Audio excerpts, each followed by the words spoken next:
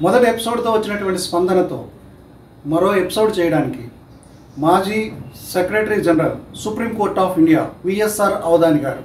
ఈయన state legal services authority కోసం చట్టపరమైన అవగాహన విషయాలపై ఏడవ మరియు పదవ తరగతి తరగతులకు తెలుగులో నాన్ డీటెయిల్ బుక్స్ రాశారు. ఎన్నో లా బుక్స్ని ప్రచురితం చేశారు. ఆయన్ని ఈరోజు మనం మరొక ఎపిసోడ్ ద్వారా కలుసుకుందాం. అనేక విషయాలు తెలుసుకుందాం.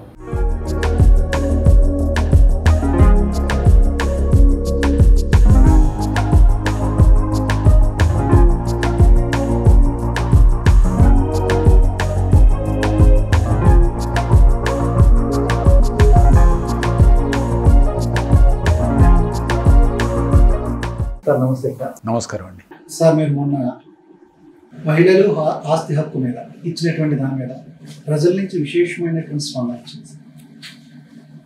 ఎంత చక్కటి స్పందన వచ్చిందంటే సార్ని మరి కొన్ని క్వశ్చన్స్ మా కోసం అడగండి మరి కొన్ని ఎపిసోడ్స్ సార్తో చేయండి అని చెప్పి మాకు ఎన్నో రిక్వెస్ట్లు కూడా వస్తున్నాయి సార్. అయితే ఈ విషయాల మీద న్యాయ పరిజ్ఞానం ఉండటం మంచిదే కానండి ఇవన్నీ కూడా కోర్టుల దాకా వచ్చి తేల్చుకోవాలని ప్రజలు అనుకోకుండా ఉంటే మంచిది.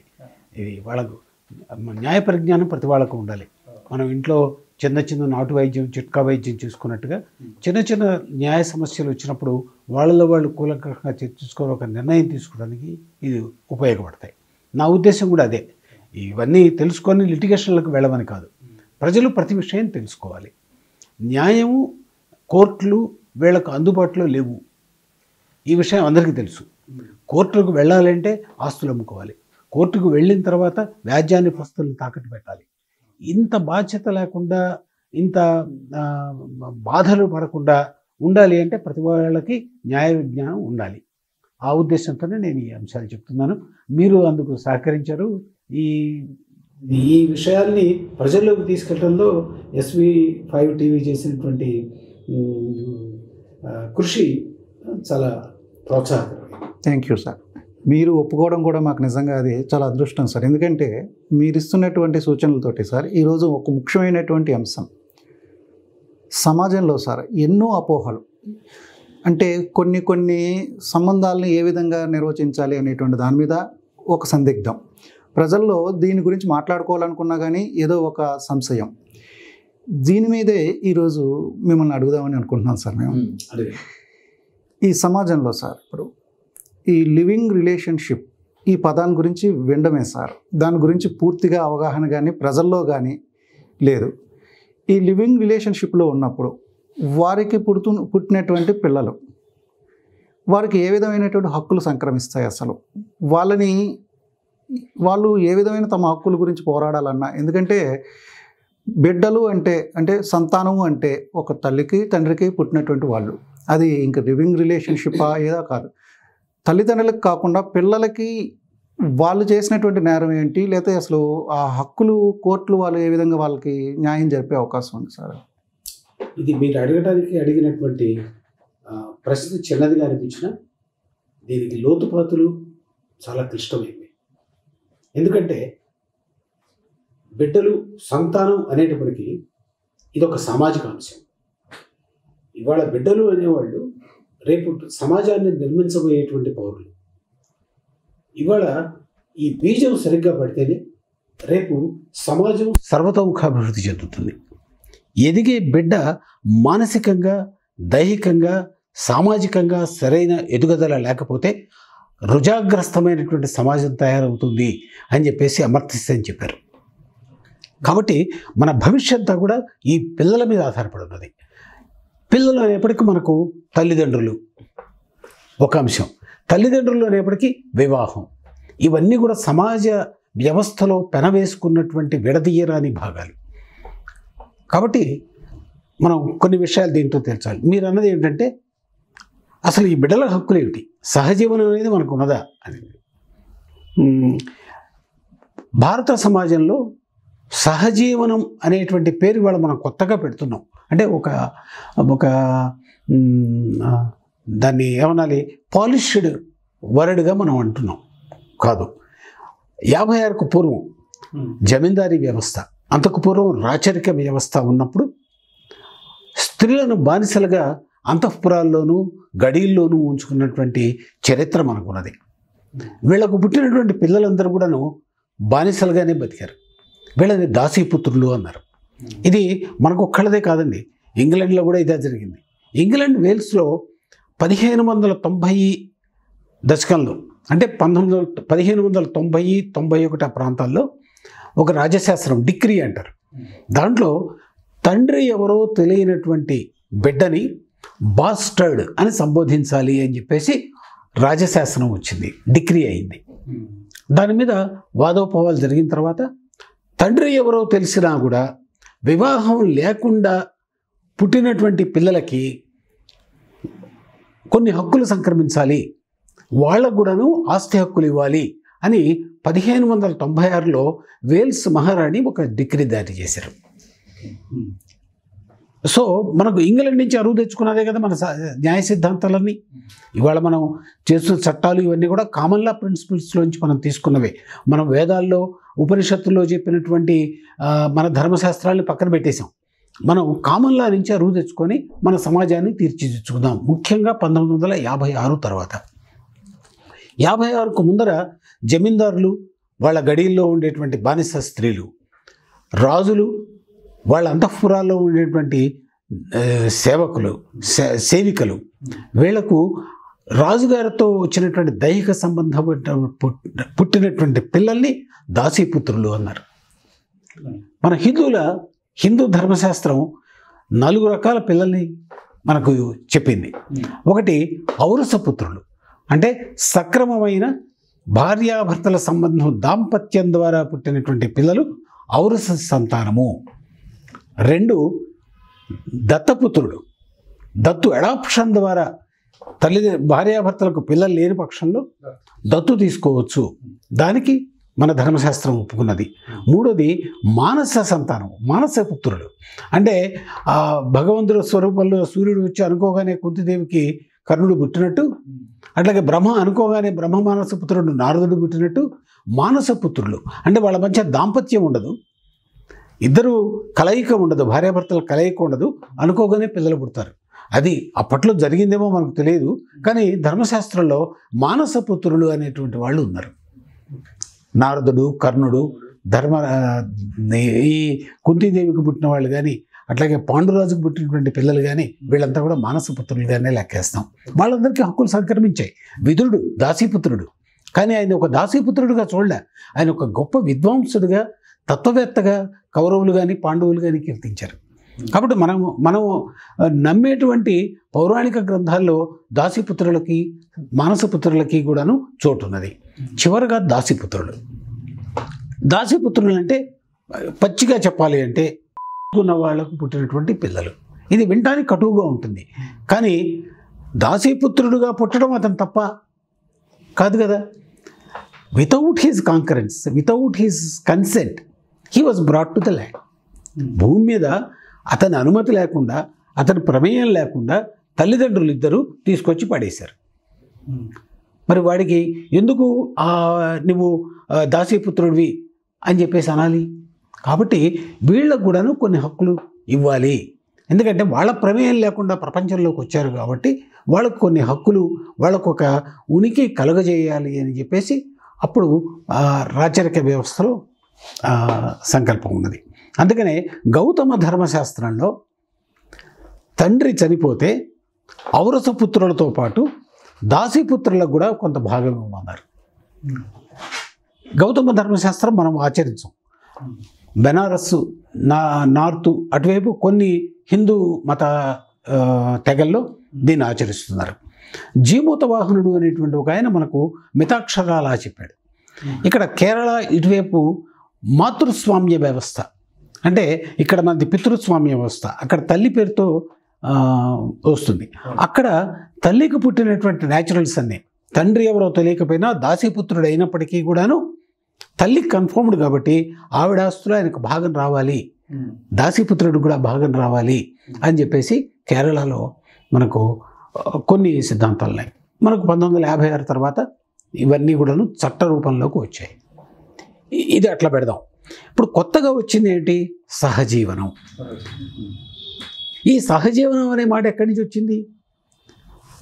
భార్యాభర్తలు కలిసే జీవిస్తున్నారు. ఇంట్లో కుటుంబంలో అందరూ కలిసే జీవిస్తున్నారు. కానీ సహజీవనం అనేది ఒక దాంపత్య బంధంగా రికగ్నైజ్ అయింది. ఎట్లా? ఒక స్త్రీ ఒక పురుషుడు. వాళ్ళిద్దరికి కూడాను వివాహం చేసుకునేటువంటి యోగ్యత ఉన్నది అర్హత ఉన్నది. అంటే వాళ్ళకి వివాహం అవ్వాల్సిన ఇరవై ఒక్క సంవత్సరాలు అయింది అంతకుముందు వాళ్ళిద్దరికీ వివాహం అయ్యలేదు. ఒకవేళ వివాహం అయినా కూడాను ఆ వివాహం రద్దయిపోయింది విడాకులైపోయింది. ఇద్దరు కూడాను పెళ్ళి చేసుకోవడానికి ఎలిజిబుల్ బ్యాచులర్స్. అటువంటి సందర్భంలో పెళ్ళి అనేది లేకుండా పెళ్ళి అనే క్రతువు లేకుండా ఇద్దరూ కలిసి జీవిస్తే వాళ్ళని భార్యాభర్తలుగానే మనం చూడాలి. ఇది చాలా కాలం క్రితం పంతొమ్మిది వందల ముప్పై ఆరు ముప్పై ఏడు సంవత్సరాల్లో మన ప్రివీ కౌన్సిల్ తర్వాత సుప్రీంకోర్టు పంతొమ్మిది వందల అరవై తర్వాత సుప్రీంకోర్టు కూడాను ఒక సిద్ధాంతం చెప్పింది. ఇద్దరు స్త్రీ పురుషులు మా వివాహానికి యోగ్యత కలిగినటువంటి స్త్రీ పురుషులు చాలా కాలం క్రితం చాలా కాలం పాటు కంటిన్యూస్గా కలిసి బతికితే వారిని సమాజము భార్యాభర్తలే అనుకుంటే వివాహం లేకపోయినప్పటికీ కూడాను వాళ్ళిద్దరిని వివాహమైన భార్యాభర్తలుగానే పరిగణించాలి. అయితే presumption long cohabitation infers that there is a marriage అని సుప్రీంకోర్టు చెప్పింది. ఇప్పుడు కొంతమంది సిద్ధాంత వాళ్ళు భగవంతుడిని నమ్మము ఈ ఆచార వ్యవహారాలు నమ్మము అనేవాళ్ళు కొంతమంది ఉన్నారు. అంటే వాళ్ళని తప్పు పట్టడం కాదు. వాళ్ళ సిద్ధాంతం అది. ఈ పెళ్ళి క్రతువుని మేము నమ్మము మేము ఇద్దరం కలిసి బతుకుతాము. ఎస్ మీ ఇద్దరికి కనుక అంతకుముందు పెళ్ళి కాకపోతే మీ ఇద్దరు కలిసి బతకండి. చాలా కాలం ఒక పదేళ్ళ పాటు కనుక మీరు కలిసి బతికి పిల్లల్ని కంటే వాళ్ళు మీకు న్యాచురల్ బాండ్స్ అన్నే. వాళ్ళంతా మీకు సక్రమమైన సంతానమే. పెళ్ళి మినహా మీ ఇద్దరి మధ్య ఉన్నది పవిత్రమైనటువంటి దాంపత్య బంధము. కాబట్టి మీ ఇద్దరు భార్యాభర్తలే.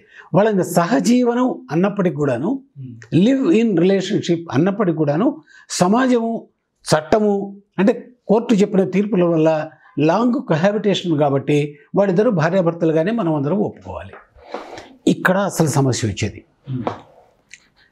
ఉదాహరణకు పెళ్ళవుతుంది. పెళ్ళైన తర్వాత ఒక రెండేళ్ళకో మూడేళ్ళకో ఈ సెక్షన్ ఐదు హిందూ మ్యారేజ్ యాక్ట్లో చెప్పినటువంటి అర్హతలు లేవు. అంటే భార్యో భర్తో పిచ్చివాడు ఒక మెటీరియల్ మ్యారేజ్కి సంబంధించిన ఒక మెటీరియల్ ఇన్ఫర్మేషన్ దాచిపెట్టాడు. ఫ్రాడ్ ప్లే చేశాడు. ఇవేవో ఒక రెండేళ్ళ మూడేళ్ళ తర్వాత భార్యకో భర్తకో తెలుస్తాయి. నా పెళ్ళి చెల్లదు అని కోర్టుకు వెళ్తారు. ఫ్యామిలీ కోర్టులోనో జిల్లా కోర్టులోనో వివాహం రద్దు చేసుకుంటారు. విడాకులు కాదు. వివాహం నల్ అండ్ వాయిడ్. అంటే అసలు పెళ్ళే జరగలేదు అని చెప్తుంది. ఉదాహరణకు పంతొమ్మిది వందల తొంభై ఎనిమిదిలో పెళ్ళయింది. రెండు వేల ఐదులో వీళ్ళిద్దరికీ ఏదో ఒక గ్రౌండ్ తెలిసింది. కోర్టుకు వెళ్ళేసి మా వివాహం చెల్లదు అని అడిగారు. కోర్టు నమ్మింది. The Dick marriage is declared as null and void అంటే తొంభై ఎనిమిదిలో వీళ్ళిద్దరికి పెళ్ళి జరగలేదు. అనే బై ఫ్రిక్షన్ ఆఫ్ లా. అయితే ఈ ఐదేళ్ళలో వీళ్ళు ఊరుకోరు కదా. పిల్లల్ని పడేశారు భూమి మీద. మరి వీళ్ళేమిటి? వీళ్ళని అని పిలవాలా? కాదు కదా. During their birth there was a valid marriage subsequently that marriage was became has been declared as null and void. వీడ తప్పేటి అందులో? కదా? అందుకని section sixteen Hindu marriage act చెప్పేది. ఏదైనా కారణం వల్ల ఒక వ్యాలిడ్ మ్యారేజ్ తర్వాత కాలంలో వైడ్ మ్యారేజ్గా కనుక డిక్లేర్ చేస్తే ఆ మధ్యకాలంలో పుట్టినటువంటి పిల్లల్ని లెజిటిమేట్ పిల్లలుగానే భావించాలి అన్నారు. ఈ లెజిటిమేట్ పిల్లలు అయినంత మాత్రం చేత వీళ్ళకి పూర్తి హక్కులు రాలే. వీళ్ళకి ఏమన్నారు తల్లిదండ్రుల్లో ఉన్న తల్లిదండ్రులకు సంక్రమించినటువంటి వాళ్ళ సొంత ఆస్తులు ఉంటాయి కదా. స్వార్జిత ఆస్తులు అంటే సెల్ఫ్ ఎక్వైర్డ్ ప్రాపర్టీస్లో మాత్రమే వీళ్ళకి ఇన్హెరిటెన్స్ వస్తుంది. అది కూడా ఆ తల్లి తండ్రి సొంత స్వార్జిత పాస్తి ఉన్నటువంటి తల్లి తండ్రి గనక వీల్నామా రాయకుండా గనక చనిపోతే హిందూ సక్సెషన్ యాక్ట్ ప్రకారం క్లాస్ వన్ హీర్స్గా వీళ్ళు వాళ్ళని ఇన్హెరిట్ చేయొచ్చు. అంటే బై ఛాన్స్ అనమాట ఛాన్స్. కాబట్టి ఒక రికగ్నేషన్ ఇచ్చారు. ఇది తప్పు. ఇది తప్పు. సుప్రీంకోర్టు ఒక ఇది చెప్పింది. రేవణా సిద్ధప్ప అనే కేసులో సుప్రీంకోర్టు రెండు వేల పదకొండులో ఒక తీర్పు చెప్పింది. వివాహం అంటే మీకు సెక్షన్ పదహారును అప్లై చేయాలంటే అక్కడ ఏమవసరం అవుతుంది? ఒక మ్యారేజ్ ఉండాలి. ఆ మ్యారేజ్ తర్వాత వాయిడ్గా డిక్లేర్ చేయి ఉండాలి. అంతే కదా? ఈ మధ్యకాలంలో పిల్లలు పుట్టి ఉండాలి అసలు మ్యారేజ్ లేని వాళ్ళకి సెక్షన్ పదహారు అప్లై కాదు. అంతే కదా. సెక్షన్ పదహారు అప్లై కావడానికి వ్యాలిడ్ మ్యారేజ్ ఉండాలి. వ్యాలిడ్ మ్యారేజ్ లేకుండా ఇద్దరు కలిసి ఉంటే సెక్షన్ పదహారు అప్లై కాదు. కాబట్టి సుప్రీంకోర్టు ఏం చెప్పింది? అసలు వ్యాలిడ్ మ్యారేజ్ కాకుండా ఇద్దరు కలిసి ఉండి వాళ్ళకు గనక పిల్లలు గనక పుడితే వాళ్ళని ఔరస పుత్రులుగా అంటే న్యాచురల్లీ బాండ్ సన్స్గా వాళ్ళని ట్రీట్ చేసి జాయింట్ కుటుంబాస్తిలో కేవలం తల్లిదండ్రుల స్వార్జిత ఆస్తులనే కాదు జాయింట్ కుటుంబాస్తిలో కూడా వాళ్ళకి భాగం వచ్చేటట్లుగా కొపార్షనర్స్గా ట్రీట్ చేయండి. ఆ రకంగా చట్ట సవరణ చేయండి అన్నది లా కమిషన్కి వెళ్ళింది. లా కమిషన్ దగ్గర అది ఇంకా పెండింగ్లో ఉంది. అది దాని మీద అధ్యయనం జరగలేదు. అట్లా పడేసి వదిలేశారు. వాళ్ళ దగ్గర అటకెక్కినటువంటి ఎన్నో సంస్కరణల్లో ఇదొకటి. ఈ లోపల భారతదేశంలో ప్రతిరోజు కొంతమంది పిల్లలు పుడుతూనే ఉన్నారు. అనాథలుగానో తల్లిదండ్రులు లేని వాళ్ళుగానో పెరుగుతూనే ఉన్నారు. కేవలం స్కూల్ రిజిస్టర్లో తల్లి పేరు మాత్రమే రాసుకొని సంతోషపడే వాళ్ళు ఉన్నారు. తండ్రి పేరు రాసుకోవడానికి ధైర్యం చాలక సమాజం ఒప్పుకోదనేటువంటి భయంతో ఇటువంటి వాళ్ళకి చట్టం ఒక దారి చూపించాలి. రేవనా సిద్ధప్ప కేసులో ఇచ్చినటువంటి ఈ తీర్పు త్వరలో గనక ప్రభుత్వం పట్టించుకొని లా కమిషన్ గనక ఒక రిపోర్ట్ ఇస్తే Hindu marriage act Hindu succession act ఇట్లాంటివి కనుక అమెండ్ అయితే ఇటువంటి పిల్లలకంటే లివ్ ఇన్ రిలేషన్షిప్లో సహజీవనం ద్వారా పుట్టి ఇల్లిజిటిమేట్ చిల్డ్రన్గానే పరిగణించబడుతున్నటువంటి పిల్లలకు కూడాను జాయింట్ కుటుంబ ఆస్తుల్లో హక్కులు ఇచ్చేటువంటి శుభదినం వస్తుంది. అప్పటిదాకా ఎదురు చూడాలి. అందరికీ తెలిసినా కానీ ఆ పదాల గురించి చెప్పండి. కొద్ది కన్ఫ్యూజ్ ఉంది అసలు. స్వార్జిత హక్కు అంటే ఏంటి? తర్వాత ఈ కుటుంబ ఆస్తి. స్వార్జితపు ఆస్తి. కుటుంబ కుటుంబ ఆస్తి. కుటుంబ ఆస్తి. అంటే ఏంటి? ఈ ఈ ఈ ఆస్తుల పైన ఈ లివింగ్ రిలేషన్లో ఉన్నటువంటి పిల్లలకి ఎటువంటి హక్కులు వస్తాయి? అసలు హక్కులు ఉంటాయా? ఆస్తుల మీద వాళ్ళకి ఉన్న హక్కు హక్కులు ఉంటాయా? ఇది మనకు హిందూ ఫ్యామిలీస్లో జాయింట్ కుటుంబ వ్యవస్థ అనేది ఉన్నది. అసలు హిందూ కుటుంబానికి యూనిక్ ఫీచర్ ఏంటంటే జాయింట్ కుటుంబం. ముత్తాత ఆస్తులు సంపాదిస్తాడు. ఆ ఆస్తి ముత్తాత నుంచి తాతకు తాత నుంచి తండ్రికి తండ్రి నుంచి కొడుక్కి. ఇట్లా నాలుగో తరానికి వచ్చినప్పుడు ముత్తాత ఆస్తి మునిమనవడి దగ్గర ఉన్నప్పుడు అది ఆ మునిమనవడికి జాయింట్ కుటుంబ ఆస్తి అవుతుంది. జాయింట్ కుటుంబం అంటే పిత్రార్జిత ఆస్తి అంటారు. యాన్సెస్ట్రల్ ప్రాపర్టీ కరెక్ట్గా చెప్పాలంటే లీగల్ టెర్మినాలజీలో యాన్సెస్ట్రల్ ప్రాపర్టీ అంటే ముత్తాత కాదు వారసత్వ హక్కు అంటే ఇన్హెరిటెంట్ రైట్ ఇక్కడ జాయింట్ కుటుంబ ఆస్తిలో ఇన్హెరిటెన్స్ అనేది ఉండదు. వాళ్ళకు రైట్ బై బర్త్ వస్తుంది. కేవలం ఆ కుటుంబంలో పుట్టినంత మాత్రం చేతనే వాడికి హక్కు వచ్చేస్తుంది. వారసత్వం ఎప్పుడు వస్తుందంటే కుటుంబంలో ఉన్నటువంటి తండ్రో తాతో చనిపోయినప్పుడు అది ఆయన సొంత ఆస్తి అయినప్పుడు ఆ స్వంత ఆస్తి అంటే వాళ్ళు సంపాదించుకున్నది. పితరార్జిత ఆస్తి కాకుండా వాళ్ళకే ఉద్యోగం చేసో వ్యవసాయం చేసో వ్యాపారం చేసో సంపాదించుకున్నటువంటి డబ్బు ఆ ఆస్తి వాళ్ళ స్వార్జిత ఆస్తి. ఈ స్వార్జిత ఆస్తికి నుంచి వాళ్ళు ఎటువంటి ఏర్పాట్లు వీలునామా రాయలేదు గిఫ్ట్ డీడ్ రాయలేదు ఎవరికి విక్రయించలేదు. వాళ్ళ దగ్గరే ఉన్నది. వాళ్ళు ఏమీ రాయకుండా చనిపోయాడు. చనిపోతే దానికి వారసులు ఎవరు? దానికి హిందూ సక్సెషన్ యాక్ట్లో క్లాస్ వన్ హీర్స్ అని క్లాస్ టూ హీర్స్ అని చెప్పారు. ఉదాహరణకు క్లాస్ వన్ హీర్స్లో చనిపోయిన ఆయన గనక తండ్రి గనక అయ్యి ఉంటే ఆయన ఆయన ఆయన భార్య ఆయన తల్లి కొడుకులు కూతుళ్ళు. వీళ్ళు క్లాస్ వన్ హీర్స్. కొడుకులు చచ్చిపోయి కనుకుంటే చచ్చిపోయిన కొడుకు యొక్క బిడ్డలు okay. Predeceased sons and daughters of predeceased son అట్లాగే ఆ చనిపోయిన కొడుకు యొక్క భార్య విడో ఆఫ్ ప్రీడిసెస్డ్ సన్ అట్లాగే చిల్డ్రన్ ఆఫ్ ప్రీడిసెస్డ్ డాటర్ అట్లాగే వీళ్ళు. వీళ్ళు కాకుండా వీళ్ళు ఎవరు లేరు అనుకోండి class two heirs brothers sisters brothers children sisters children ఇట్లా వస్తాయి. అదే స్త్రీకి వచ్చేటప్పటికి ఆవిడ స్వార్జిత పాస్తికి సెక్షన్ ఎయిటు పదిహేను section eight fifteen Hindu section act చెప్పారు. ఆవిడకు స్వంత ఆస్తిని ఆవిడ చనిపోతే ఎటువంటి ఏర్పాట్లు చేయకుండా ఆవిడ భర్త తరపు వాళ్ళకి వెళ్తాయి. భర్త తరఫున ఎవరూ లేకపోతే వారసులు? ఫస్ట్ ఆవిడ వారసులు. భర్త తరఫు వారసులు అంటే కొడుకులు కూతుళ్ళు ఆవిడ మామగారు అత్తగారు వీళ్ళు. వీళ్ళెవరూ లేకపోతే ఆవిడ వారసులు. ఓకే. ఆవిడ వారసులు ఎవరు? తల్లి తండ్రి ఆవిడ తాలూకుది. అదే కనుక ఈవిడకు వచ్చిన ఆస్తి కనుక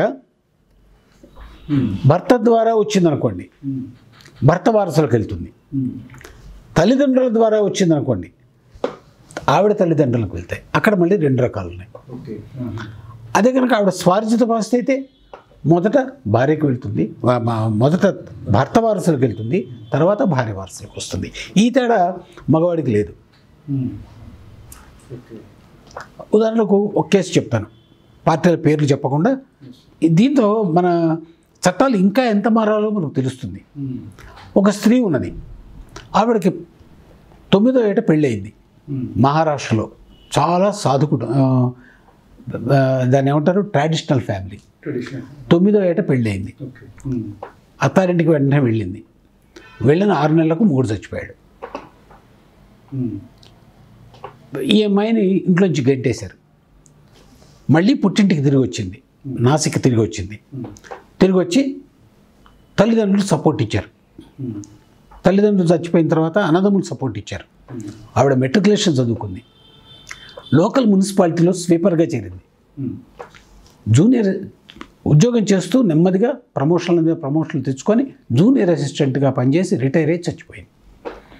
ఈ ఉద్యోగ కాలంలో ఆవిడ ఒక ఇల్లు కొంత బంగారం కొంత బ్యాంక్ డిపాజిట్లు ఇవన్నీ సంపాదించుకుంది. ఎటువంటి ఏర్పాటు చేయకుండా చచ్చిపోయింది. అప్పటికి మనకున్నటువంటి చట్ట ప్రకారం హిందూ సక్సెషన్ యాక్ట్ ప్రకారం ఆవిడ భర్త వారసులు అంటే అత్తగారు మామగారు మరుదులు వాళ్ళు వచ్చేసి ఈ ప్రాపర్టీ నాదే అన్నారు. నలభై ఏళ్ళ పాటు ఆవిడ్ని ఆరు నెలల వితంతువుని ఇంట్లోంచి పంపించేసిన వాళ్ళకి నలభై ఏళ్ళ తర్వాత ఆవిడ ఆస్తికి వారసత్వం అని చెప్తున్నటువంటి మన చట్టాలు మారాలా అక్కర్లేదా దీన్ని a hard case to accept అని చెప్పేసి సుప్రీంకోర్టు అన్నది. ఇది మనం డైజెస్ట్ చేసుకోలేనటువంటి వ్యవహారం. దీని మీద ఎందుకు మీరు చర్యలు తీసుకోరు? దీన్ని అమెండ్ చేయాలి అని సుప్రీంకోర్టు చెప్పిన తర్వాత జస్టిస్ లక్ష్మణ్ గారి సారథ్యంలో రిటైర్డ్ సుప్రీంకోర్టు జడ్జి గారు ఆయన. జస్టిస్ లక్ష్మణన్ గారు లా కమిషన్ చైర్మన్గా ఉన్నారు. ఆయన దీని మీద ఒక స్టడీ పేపర్ పెట్టారు. అది ఇంతవరకు వెలుగు చూడలే. పాపం ఆయన ఆయన టర్మ్ అయిపోయింది. తర్వాత మళ్ళీ దీన్ని ఎవరు పట్టించుకోలేదు. అయితే ఇన్నాళ్ళకు మళ్ళీ ఈ మధ్య వెలుగులోకి వచ్చింది. దీని మీద ఒక బిల్లు తీసుకురావాలి. మార సో కొన్ని తరాల పాటు బాధలు అనుభవించాలి. ఆ బాధలు అనుభవించిన తర్వాత వచ్చే తరాలకు మంచి జరుగుతుంది. సో మనం అనుభవించే ఈ బాధలన్నీ కూడాను వచ్చే తరం కోసం మనం చేస్తున్న త్యాగాలుగా భావించాలి. సో మీరు తేడా అడిగారు. స్వార్జితము పిత్రార్జితం అంటే అది తేడా. దీన్ని with reference to the legitimate and illegitimate children ఇందాక సెక్షన్ పదహారు గురించి అనుకున్నాం. స్వార్జిత ఆస్తిలో మాత్రమే వివాహం జరిగి రద్దయిపోయిన కాలంలో పుట్టినటువంటి పిల్లలకు తల్లి లేదా తండ్రి యొక్క స్వార్జిత ఆస్తిలో మాత్రమే వారసత్వ హక్కు వస్తుంది అది కూడా ఎప్పుడు వాళ్ళు ఎటువంటి వీలునామాలు రాయకపోతే. ఇంకోటి ఉన్నది. సెక్షన్ నూట పన్నెండు అని ఇండియన్ ఎవిడెన్స్ యాక్ట్ ఉన్నది. ఇండ్ భారతీయ సాక్ష్యాల చట్టం సాక్ష్యాధార చట్టం. దాంట్లో ఏమన్నారంటే భార్య గర్భంతో ఉండి భర్త చనిపోయినా లేదా విడాకులైపోయినా ఈ అయిపోయిన తర్వాత రెండు వందల ఎనభై రోజుల లోపల గనక బిడ్డ పుడితే పెళ్ళైనటువంటి తల్లి భార్యకి భర్త చనిపోయిన తర్వాత రెండు వందల ఎనభై రోజుల లోపల కానీ విడాకులైపోయిన తర్వాత రెండు వందల ఎనభై రోజుల్లో కానీ బిడ్డ పుడితే ఈ పిల్లాడు ఆ చనిపోయిన లేదా విడాకులైపోయినటువంటి భర్తకు పుట్టినటువంటి లెజిటిమేట్ చైల్డ్గా గుర్తించాలి. అని ఉన్నది. ఇది ఒక ప్రెజంప్షన్ ఒక న్యాయ భావన అయితే ఆయన చెప్పచ్చు అయ్యా నేను ఆవిడతో నాకు అసలు దాంపత్యం జరిపేటువంటి అవకాశమే లేదు యాక్సెస్ లేదు మాకు ఇద్దరికిను ఈ రెండు వందల ఎనభై ఎనభై రోజుల కాలంలో కాబట్టి వాడు నా బిడ్డ కాదు. అని చెప్పొచ్చు. దానికి డిఎన్ఏ ఎగ్జామినేషన్స్ ఇవన్నీ మన టెక్నాలజీ అంతా ఇప్పుడు డెవలప్ అయింది. ఈ ప్రిజంప్షన్ రిబట్ చేసుకునేటువంటి బాధ్యత ఆ తండ్రిదే. ఒకటి. మీకు గుర్తుండే ఉంటుంది అప్పట్లో బాగా సంచలనమైంది. ఒక మన రాష్ట్రానికి కూడా రాజ్యాంగబద్ధమైనటువంటి ఒక పదవిలో ఉన్నటువంటి ఒక పెద్ద ఆయనకి ఇట్లాంటి సందర్భం ఎదురైంది. ఒక కుర్రాడు ఢిల్లీ హైకోర్టులో వ్యాజ్యం వేశాడు. నేను బలనాయన కుమారుణ్ణి. ఆయన ఆయన యవనంలో ఉన్నప్పుడు మా నా తల్లితో ఆయనకు సంబంధాలు ఉన్నాయి ఆ సంబంధానికి పుట్టినవాడిని నేను కాబట్టి నన్ను ఆయన లెజిటిమేట్ సన్గా డిక్లేర్ చేయండి అన్నారు. డిఎన్ఏ ఎగ్జామినేషన్ జరిగింది. కోర్టులు చెప్పాయి. చివరికి హైకోర్టు దాకా వెళ్ళిన తర్వాత కూడా it was declared that he is legitimate child of that అయితే దానివల్ల ఆయనకు వచ్చిన ఇతను ఒక వ్యాలిడ్ మ్యారేజ్కి పుట్టినటువంటి కొడుకు అని కాదు. లెజిటిమేట్ ఇల్లెజిటిమేట్ కాదు. ఇతనికి పుట్టిన కుమారుడే అని చెప్పేసి ఒక సర్టిఫికేట్ వచ్చింది. కానీ ఆస్తులు ఎటువంటి హక్కులు రావాలి? ఆయన చనిపోయిన పెద్ద ఆయన కనుక ఆస్తి అంటూ ఇస్తే తీసుకోవచ్చు. ఎవరికి ఇవ్వకుండా కనుక చనిపోయి ఆయనకంటూ స్వార్జిత ఆస్తి ఉంటే ఈయన వారసుడుగా తీసుకోవచ్చు. అదే ఆయనకు ఓన్లీ పిత్రార్జిత ఆస్తి ఉందనుకోండి ఈయనేం తీసుకోవడానికి లేదు. అయితే పిత్రార్జిత ఆస్తిలో చనిపోయినటువంటి తండ్రిగా చెప్పబడుతున్న వ్యక్తికి ఎటువంటి అవిభాజ్య భాగం ఉన్నదో అది ఆయన సొంత భాగం అవుతుంది. దాని మీద ఈ బిడ్డగా రికగ్నైజ్ చేయబడినటువంటి కొడుకు బాటా తీసుకోవచ్చు. ఇన్ని కాంప్లెక్స్ ఇష్యూస్ పెట్టుకొని కోర్టు చుట్టూ తిరిగి ఎవడైనా చేయగలడా? తెలుసుకోలేరు కూడా అసలు తెలుసుకోలేడు. తెలుసుకోలేడు. కాబట్టి ఈ చట్టాలన్నీ సరళీకృతం కావాలి. సరళీకృతం కావాలంటే తండ్రి ఎవరో తెలిసినప్పుడు వాడిని లెజిటిమేట్ చైల్డ్గానే గుర్తించండి. తండ్రికి ఉన్నటువంటి స్వార్జితం కానీ పిత్రార్జితం కానీ స్వార్జితం అయితే హిందూ సక్సెస్ యాక్ట్ ప్రకారం రావాలి. పిత్రార్జితం అయితే హిందూ లా ప్రకారం ఒక కుపార్షులుగా ట్రీట్ చేసి అందరు కొడుకులకు కూతుళ్ళకు సమానమైన వాటా ఎట్లా ఇస్తారో ఈ బిడ్డగా చెప్పబడుతున్న వ్యక్తికి కూడాను అదే వాటా ఇవ్వాలి. అదే. ఇంకోటి సహజీవనం వేరు కేవలం కొన్నాళ్ళు కలిసి ఉంటాం అంటే? భర్తతో ఒక ఆవిడకు తగాదా వచ్చేసేసి ఊరు వచ్చింది. ఊరు వెళ్ళిపోయింది. ఆ పక్కన ఉన్నటువంటి మగతోడు లేదు ఆవిడకి. ఆ పక్కన ఎవరో నమ్మించాడు. అమ్మా నీకు నేను తోడుంటాను. నీకు స్వర్గం కట్టిస్తాను. నీకు అని చెప్పేసి చూపించాడు. పాపం అమాయకురాలు అతనికి లొంగిపోయింది. కొన్నాళ్ళ పాటు కాపురం చేశారు. పిల్లాడు పుట్టాడు. వాడికి పెళ్ళయింది ఈ అమ్మాయికి ఈ పిచ్చి తల్లికి పెళ్ళయింది. ఈ బిడ్డ పరిస్థితి ఏమిటి ఇతను ఎవరికి పుట్టిన పిల్లవాడు? సో ఇతను ఈ అమ్మాయికి విడాకులు కాకుండా దూరంగా ఉన్నటువంటి భర్తకు పుట్టినవాడుగా చట్టం చెబుతుంది. ఓకే విడాకులు కాలేదు. భర్తగా ఆయన హోదా కొనసాగుతూనే ఉంది. ఈ అమ్మాయి వచ్చి ఏదో మాయలో పడి వేరే వాడితో సంబంధం పెట్టుకుంది. ఇక్కడ ఒక పిల్లాడు పుట్టాడు. ఇప్పుడు మనం అమ్మాయిని తప్పు పట్టట్లే. ఒక స్త్రీ ఈ సమాజంలో స్త్రీ ఒంటరిగా బతకాలంటే ఎన్ని కష్టాలు ఎదుర్కోవాలో తెలుసు. కాబట్టి ఆ అమ్మాయి ఏంటంటే పిచ్చి భ్రమలో ఉండి వీళ్ళు నమ్మింది. వీడు అవసరానికి వాడుకున్నాడు. ఒక పిల్లాడు పుట్టాడు. ఈ పిల్లాడు ఆ మొగుడు భర్తకు సంబంధించిన పిల్లాడుగానే ట్రీట్ చేయబడతాడు. కాబట్టి దీన్ని సహజీవనం అంటానికి వీల్లేదు. ఎందుకంటే అతనికి పెళ్ళయింది ఈవిడకు పెళ్ళయింది ఆ పెళ్ళి ఇంకా నిల్వలోనే ఉంది ఫోర్స్లోనే ఉన్నది. కాబట్టి ఈ పిల్లాడు అక్రమ సంతానంగానే ముద్ర వేయాలి అది మన చట్టాలు చెబుతున్నాయి. వీడి కనుక డిఎన్ఏ ఎగ్జామినేషన్ చేసి పుట్టినది తండ్రి వీడే అని చెప్పినప్పుడు మన చట్టాలు వీడు వాడిని వాడి బిడ్డగా గుర్తించట్ల. అటువంటి చట్టాలు లేవు. అది. ఇక్కడ ఈ గ్యాప్ పూర్తి చేయడానికి ఒక చట్టం రావాలి. Universal declaration of child rights ఉన్నాయి. అది అందులో ఇండియా కూడా ఒక సిగ్నటరీ. దీని ప్రకారం భారతదేశంలో పుట్టినటువంటి విశ్వవ్యాప్తంగా పుట్టిన ప్రతి బిడ్డకి సరైన గౌరవ మర్యాదలు దక్కాలి. సరైనటువంటి భవిష్యత్తు నిర్మించబడాలి. అవకాశాలు పూర్తిగా రావాలి. ఈ బాలల సర్వతోముఖాభివృద్ధికి సమాజం రాజ్యం అంటే రా దేశం ప్రభుత్వం దోహదం చేయాలి. ఇది యూనివర్సల్ డిక్లరేషన్ ఆఫ్ చిల్డ్రన్ రైట్స్లో చెప్పారు చైల్డ్ రైట్స్లో. అది ఇంటర్నేషనల్ లా కింద లెక్క. దాన్ని ఫుల్ఫిల్ చేస్తూ చట్టం తీసుకురావాల్సినటువంటి బాధ్యత ఆ డిక్లరేషన్కు పార్టీలైనటువంటి ప్రతి ప్రభుత్వం మీద ఉన్నది. భారతదేశం కూడా పార్టీయే. ఇట్లా పుట్టినటువంటి అభాగ్య శిశువులకు సంబంధించిన చట్టం ఇంకా రాలేదు. ఇంకా ఇదేంటంటే వీళ్ళని జువనైల్ యాక్ట్ కింద తీసుకెళ్తున్నారు. జువనైల్ జస్టిస్ యాక్ట్ అని ఒకటి ఉన్నది మనకు.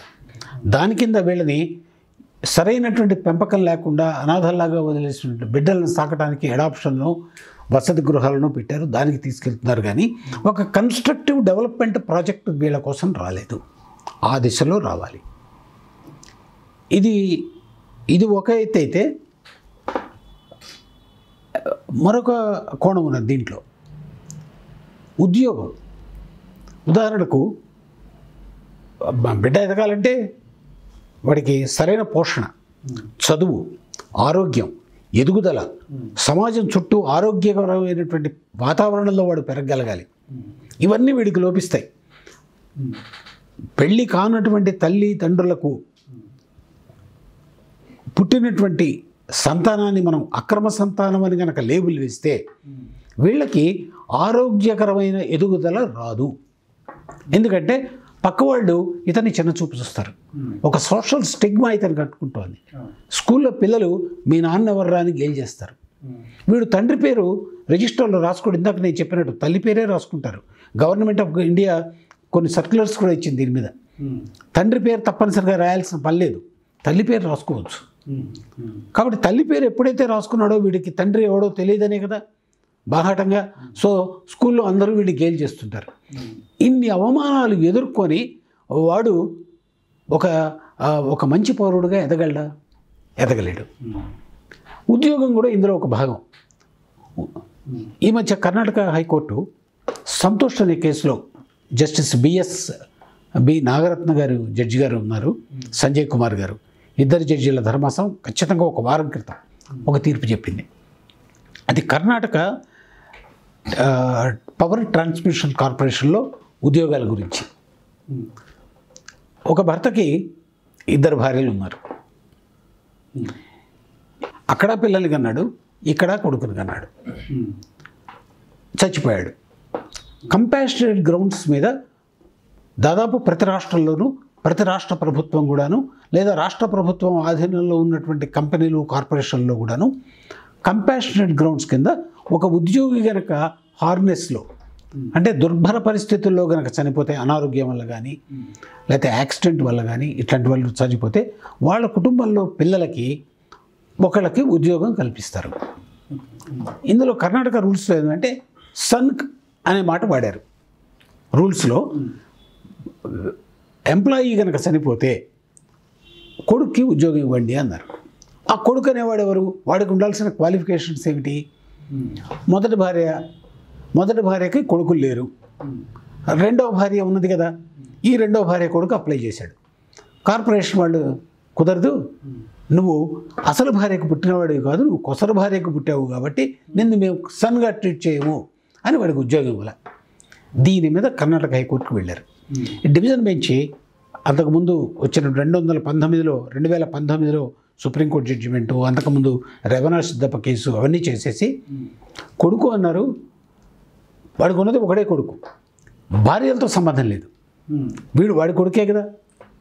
కాబట్టి కొడుకే. కాబట్టి you have to provide employment ఇది ఒక మనకు ఒక కన్నీటి తుడుపు. ఇది ఒక చిన్న ఆశాకిరణం. అంటే కోర్టులు పాజిటివ్గా స్పందిస్తున్నాయి. యూనివర్సల్ డిక్లరేషన్ ఆఫ్ చిల్డ్రన్ రైట్లో పిల్లల ఎదుగుదలకు మానసికంగా భౌతికంగా దైహికంగా సామాజికంగా పిల్లలు ఎంత పటిష్టంగా ఎదగలుగుతారో అంత ఎదగడానికి ప్రభుత్వాలు కృషి చేయాలి. ఆ దిశలో కోర్టులు మాత్రం రేవనా సిద్ధప్ప కేసులో కానీ ఇవాళ వచ్చిన సంతోష్ కేసులో కానీ అంతకుముందు కొన్ని కేసుల్లో కానీ వీళ్ళకు అనుకూలంగా తీర్పులు చెబుతున్నాయి. కానీ ప్రభుత్వం నుంచి స్పందన చాలా స్లోగా ఉన్నది. అసలు లేదని అన్ను. ఉన్నది. ఇదిగో రెండు వేల పదకొండులో మనకు రికమెండేషన్ వస్తే దాని మీద స్టడీస్ జరగాలి చర్చలు జరగాలి. జరిగిన తర్వాత మొన్న బిల్లు పెట్టడానికి ఇచ్చారు. ఇది కొద్దిగా స్పీడ్ అందుకోవాలి. మనకు పటిష్టమైనటువంటి ప్రభుత్వాలు పటిష్టమైనటువంటి నిష్ణాతులైనటువంటి న్యాయ కోవిధులు ఉన్నటువంటి దేశం మనది. ఇక్కడ సామాజికవేత్తలు చాలా బ్రాడ్ అవుట్లుక్తో ఆలోచించేటువంటి సోషల్ సైంటిస్ట్స్ మనకున్నారు. మేధా సంపత్తి మనకున్నది. ఇదన్నీ మనం ఉపయోగించుకొని ఈ వనరులతో మనం కొన్ని కొత్త చట్టాలు చేసి తల్లి తండ్రి ఎవరో తెలిసినా కూడా తండ్రి బలానా వాడు అని బయటకు చెప్పుకోలేనటువంటి స్థితిలో ఉన్నటువంటి అభాగ్య బాలలకు మనం ఒక చట్టం కనుక తీసుకురాగలిగితే భావి భారతదేశం బాలల భారతదేశం చాలా బంగారు భవిత కలిగి ఉంటుందని చెప్పేసి నేను అనుకుంటాను ఇదే సుప్రీంకోర్టు చెప్పింది అనేక హైకోర్టులు చెప్పాయి. సార్ ఇందాక మీరు ఇచ్చినటువంటి కర్ణాటక కేసు ఎగ్జాంపుల్లో రెండో భార్యకి కొడుకున్నారు అంటే మొదటి భార్యకి కొడుకులు లేరు కాబట్టి రెండో భార్య కొడుక్కి ఇచ్చారు అని చెప్పారు. ఒకవేళ ఇదే కేసులో మొదటి భార్యకు కూడా పిల్లలు ఉంటే కనుక కొడుకుంటే కనుక అప్పుడు ఏంటి సార్ ఈ కేసు పరిస్థితి? అప్పుడు తప్పనిసరిగా లిటిగేషన్ మొదలవుతుంది. అందుకనే ఉదాహరణకు ఒకే భార్యకి ముగ్గురు కొడుకులు ఉన్నారనుకోండి. ముగ్గురు కొడుకులకి ప్రభుత్వం కంపాసిటెడ్ గ్రౌండ్ మీద ఇవ్వదు కదా. ఫస్ట్ బేసిస్ ఏమిటంటే ఏ కొడుకు మిగిలినటువంటి సంసారాన్ని పోషించగలడు అనేది ప్రాతిపదిక తీసుకుంటారు. ఎలిజిబిలిటీ పెద్ద కొడుకు ఏం చదువుకోలే. కూలి పనులకు వెళ్తున్నాడు. వాడికి ఉద్యోగం చేసే ఎలిజిబిలిటీ లేదు. లేదా అతని వయసు మించిపోయింది. ముప్పై మూడేళ్ళు దాటిపోయాయి. రెండో కొడుకు ఉన్నాడు. వాడు మతిస్థిమితం లేదు. లేదా వాడికి ఉద్యోగం చేయాలనే కోరిక లేదు. వాడు ఏదో వ్యాపారం చేయటమో పొద్దున్నే పాల ప్యాకెట్లు వేసుకుంటున్నో బతుకుతున్నాడు. వాడు ఏదో రకంగా ఉన్నాడు. మూడో కొడుకు ఉన్నాడు. ముక్కు పచ్చలారిన వాడు. పద్దెనిమిది ఏళ్ళు పంతొమ్మిది వచ్చాయి. డిగ్రీ చదువుకుంటున్నాడు. సో వాడికి ఇంటర్మీడియట్ అయిన క్వాలిఫికేషన్ ఉంది. వీడికి కనుక ఉద్యోగం ఇస్తే ముప్పై ఏళ్ళ పాటు ఉద్యోగం చేస్తాడు. ముప్పై ఏళ్ళ పాటు వాళ్ళ అమ్మని కుటుంబాన్ని పైకి రా తీసుకురాగలడు. అనేది ఒక అంశం. కాబట్టి ఈ ముగ్గురులో వాళ్ళు క్లాసిఫై చేసుకుంటారు. ఎవరికి ఇస్తే మంచిది అనేది ఆలోచిస్తారు. అట్లాగే పెద్ద భార్యకి ఒక కొడుకున్నాడు రెండో భార్యకి కొడుకున్నాడు. ఈ ఇద్దరి మధ్య హూ ఈజ్ బెస్ట్ ఎలిజిబుల్ అనేది తెలుసుకోవాలి. అది డిపార్ట్మెంట్ డిపార్ట్మెంట్ చూసుకోవాలి ఇది. ఆ తల్లి ఇంట్లో ఉన్న ఫ్యామిలీ మెంబర్స్ కలిసి ఉదాహరణకు నేను సింగరేణి కేసులు కొన్ని చూశాను. అక్కడ ఉద్యోగ భర్త ఈ సింగరేణి గని ప్రమాదంలో చనిపోతాడు. ఇంట్లో ఎవరికో ఒకరికి ఉద్యోగం ఇవ్వాలి. అక్కడ వాళ్ళకి గనిలో తవ్వటమే కదా. వాళ్ళకేం చదువు ఉండాల్సిన పని లేదు. వేలు ముద్రలు వేసేవాళ్ళే చాలా వరకు. కాబట్టి ఆ ఎలిజిబిలిటీ చూస్తారు. కొడుకులు ఇద్దరు బాగా చదువుకున్నారు అనుకోండి. బాగా డిగ్రీలు ఎంఏలు చదివిన వాళ్ళని తీసుకొచ్చి బొగ్గు కొట్టమంటే ఏం కొడతారు? అందుకని ఎలిజిబిలిటీ ఉంటే ఆ ఇంట్లో కూతురుకో అల్లుడికో ఇస్తారు. అప్పుడు ఈ ఫ్యామిలీ మెంబర్స్ అంతా నో అబ్జెక్షన్ సర్టిఫికేట్ రాసిస్తారు. అట్లాగే ఒకవేళ తల్లి చదువుకోనప్పటికీ కూడాను ఆవిడకు శ్రమ చేసేటువంటి ఆ, శారీర ఆ, యొక్క బలం ఉన్నదనుకోండి ఆవిడకి ఏదో ఒక ప్యూన్గానో ఏదో ఉద్యోగం ఇస్తారు. అంటే ఒకే ఫ్యామిలీలో చాలామంది ఎలిజిబుల్ క్యాండిడేట్స్ ఉన్నప్పుడు ఎవరికి ఉద్యోగం ఇవ్వాలనేది ఎంప్లాయర్ అంటే ప్రభుత్వ కంపెనీ నిర్ణయించుకోవచ్చు. ఇంట్లో ఉన్నటువంటి కుటుంబ సభ్యులు కూడా మాలో వీడికి ఇస్తే మంచిది అనేది వాళ్ళు నిర్ణయించుకోవచ్చు. అది. కాబట్టి ఇట్ మేక్స్ నో డిఫరెన్స్ పెద్ద ఆయనకి కూతురు లేరు కొడుకులు లేరు రెండో ఆయనకే ఉన్నారు ఇది అక్కర్లే. సార్ ఇందాక కేసులో మనకి కర్ణాటకలో అబ్బాయిలకు మాత్రమే ఇచ్చారంటున్నారు. మరి ఇప్పుడు మన తెలుగు రాష్ట్రాల్లో కానీ ఇక్కడ మన మనకున్న దాని ప్రకారం అమ్మాయిలకు కూడా ఏమైనా హక్కులు ఉన్నాయా అమ్మాయిలకు కూడా ఈ హక్కు వర్తిస్తుందా? ఇప్పుడు మీ ప్రశ్న ఏమిటంటే కర్ణాటక స్టేట్ ట్రాన్స్ఫర్ కార్పొరేషన్ రూల్స్లో సన్ అని మాత్రమే ఉన్నది మిగతా లేరని అయితే అక్కడ వచ్చిన ఇష్యూ కేవలం కొడుకు గురించే వచ్చింది. కూతుళ్ళు ఉన్నారో లేదో తెలియదు రూల్స్లో ఉన్నాయో లేదో తెలియదు. జనరల్గా కూతుళ్ళు ఉండకపోవచ్చు. కారణం ఏంటంటే కూతుళ్ళు పెళ్ళై వెళ్ళిపోతారు. ఈ కుటుంబం నుంచి బయటకు వెళ్ళిపోతారు. ఈ కంపాషనేట్ ఉద్యోగం ఇవ్వడానికి కారణం ఏంటంటే చనిపోయిన ఎంప్లాయీ యొక్క కుటుంబాన్ని ఇంకో ముప్పై ఏళ్ళ పాటు ఒక పాతిక ముప్పై ఏళ్ళ పాటు నిలబెట్టాలి. కాబట్టి కొడుకు అయితే నిలబెడతాడు. అసలు కొడుకులు ఉండరు కూతుళ్ళే ఉంటారు. కూతుళ్ళు ఉన్నప్పుడు కూతురు కూడా ఉద్యోగం ఇవ్వాలి. కొన్ని చోట్ల తీర్పులు ఉన్నాయి అట్లా. ఈ మధ్య ఆంధ్రప్రదేశ్ హైకోర్టు ఫ్యామిలీ పెన్షన్లో కూతురు కూడా ఫ్యామిలీ పెన్షన్ ఇవ్వాలి అని చెప్పింది. కేవలం కొడుకులకే కాదు ఎలిజిబుల్ కూతురు మైనారిటీ తీరిపోయి పెళ్ళైపోయి వెళ్ళిపోయినా కూడా ఫ్యామిలీ పెన్షన్ ఆవిడకి కూడా వెళ్ళాలి అని చెప్పింది. ఏ వాళ్ళ పెళ్ళైపోయి వెళ్ళిపోయినటువంటి కూతుళ్ళు తల్లిదండ్రులు పోషించట్లేదా? ఇంకా ఇంకా ఖచ్చితంగా చెప్పాలంటే కొడుకుల కన్నా కూతుళ్ళే తల్లిదండ్రులను బాగా చూసుకుంటున్నారు. కాబట్టి వాళ్ళని వేరు చేయటం ఇది కాదు. కానీ ప్రిన్సిపల్ ఏమిటంటే కొడుకు తల్లిదండ్రులతో ఉంటాడు కూతురు పెళ్ళైపోయి వేరే కాపురం వేరే కుటుంబానికి వెళ్తుంది కాబట్టి ఈ కుటుంబ భాషణ బాధ్యత తీసుకోవాల్సిన అవసరం ఆవిడకి లేదు అని. కానీ దెర్ ఇస్ నో ప్రొహిబిషన్ ఆ రూల్స్లో కనుక కేవలం కొడుకు అనే కనుక రాసుంటే వీ కెన్ ఛాలెంజ్ అది కూతురు కూడా వర్తించాలి. సన్ ఇంక్లూడ్స్ డాటర్ అని చెప్పొచ్చు. ఐపీసీలో మ్యాన్ ఇంక్లూడ్స్ ఉమెన్ ఎక్కడైనా కనుక చట్టంలో మ్యాన్ అని రాసుంటే అది ఉమెన్గా కూడా ట్రీట్ చేయాలి. హీ ఇంక్లూడ్స్ షీ అట్లాగే సన్ ఇంక్లూడ్స్ డాటర్ మనకు పంతొమ్మిది వందల ఎనిమిదిలో చాలా ఆసక్తికరమైనటువంటి కేసు ప్రివీ కౌన్సిల్లో వచ్చింది. మద్రాస్ హైకోర్టు నుంచి వెళ్ళింది అది. ఆయన వీలునామాలో నా అనంతరం నా ఆస్తిని పుత్ర పౌత్రాభివృద్ధిగా నీవు అనుభవించుకోవాల్సింది అన్నది. పుత్ర పౌత్ర పుత్ర పౌత్రాభివృద్ధిగా అనుభవించుకోవాల్సిందని ఇచ్చాడు. ఈ చనిపోయిన ఆయనకి కూతుళ్ళే ఉన్నారు. పుత్రులు లేరు పుత్రులు అంటే కొడుకులు పౌత్రులు అంటే మనవాళ్ళు. ఇద్దరు లేరు. కాబట్టి ఈ ఆస్తి ఎవరికి వెళ్ళాలి? దానికి ప్రివి కౌన్సిల్ చెప్పింది. పుత్ర పౌత్రాభివృద్ధిగా ఇంక్లూడ్స్ పుత్రిక కూతురిని కూడా అందులో గమనించుకో అన్నారు. పంతొమ్మిది వందల ఎనిమిదిలో పురివి కౌన్సిల్ చెప్పింది. మన ఇండియన్ హిందూ ధర్మశాస్త్రాన్ని గురించి వాళ్ళు చెప్పారు. అది ఇది చట్టం అనేది సామాజిక అవసరాల కోసం మనం తయారు చేసుకుంటోంది. ప్రభుత్వం అంటే ఎవరు? మనమే. We the people of India మనకు మనం రాజ్యాంగం రచించుకొని మనకు మనం ఐదేళ్ళకు ఒకసారి ప్రభుత్వాన్ని ఎన్నుకొని మనకు కావలసిన పరిపాలన మనం తెచ్చుకుంటూ మన సమాజం ఒక హేతుబద్ధంగా నడవడం కోసమని పటిష్టంగా ఉండటం కోసమని తయారు చేసుకున్నటువంటి చట్టాలు. అవసరానికి అనుగుణంగా ఈ చట్టాలు కూడా మారుతూ ఉండాలి. ఫ్లెక్సిబిలిటీ ఉండాలి. ఉదాహరణకు ప్రజలు ఆచరిస్తేనే చట్టం ధర్మం అవుతుంది. మీకు ఉదాహరణకు చెప్తా. రెండో పెళ్ళి నిషిద్ధం. రెండో పెళ్ళి కనుక చేసుకుంటే యాభై ఆరు తర్వాత నాలుగు వందల తొంభై తొమ్మిది ఐపీసీ సెక్షన్ కింద శిక్షార్హులు. రెండో పెళ్ళి చేసుకుంటూనే ఉన్నారుగా కట్నం ఇవ్వడం నేరం.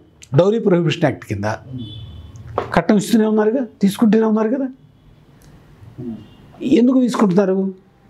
చట్టం వచ్చినప్పటికి కూడాను ప్రజలు దాన్ని లక్ష్య పెట్టట్లేదు సో ప్రజలు లక్ష్య పెట్టని చోట చట్టం దాని స్ఫూర్తి నీరు గారిపోతాయి. అందుకని ప్రజల పార్టిసిపేషన్ ఉండాలి. చట్టం దాని స్ఫూర్తిని కొనసాగించాలి ఎన్ఫోర్స్ చేయాలి అంటే పబ్లిక్ పార్టిసిపేషన్ ఉండాలి. ఈ పబ్లిక్ నుంచి వచ్చేటువంటి అవసరాన్ని ప్రభుత్వం గుర్తించి దానికి తగ్గట్టుగా చట్టం చేయాలి. ఇవాళ పబ్లిక్ నుంచి ఒక డిమాండ్ ఉంది. ఒక పుట్టినటువంటి ప్రతి శిశువుకి మీరు సమాన హక్కులు కల్పించాలి. Irrespective of the fact whether it is illegitimate or illegitimate కాబట్టి ఈ సందేశం ప్రభుత్వానికి చేరుతోంది. అక్కడ కృషి జరగాలి. అది జరుగుతుందని ఆశిద్దాం. నమస్కారం అండి. నమస్తే sir. Thank you very much sir ఇది ఈరోజు ఎపిసోడ్. ఈ ఎపిసోడ్లో సార్ లివింగ్ రిలేషన్షిప్ గురించి తెలియజేశారు. మరొక ఎపిసోడ్లో సార్ తోటి మరొక అంశం మీద మనం కలుసుకుందాం. అంతవరకు చూస్తూ ఉండండి ఎస్వీ ఫైవ్ టీవీ.